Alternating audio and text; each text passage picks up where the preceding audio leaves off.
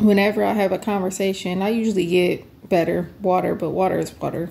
I always think before I drink my water, I'll be like, sometimes I'll be like, you're gonna have to hold on because you act a fool as soon as you get in my body. Like, I be questioning water. Like, okay, when I drink this, you not gonna act up, are you? You not just gonna come right back out of me. Like, can can we have an agreement here? Can can like you work with me?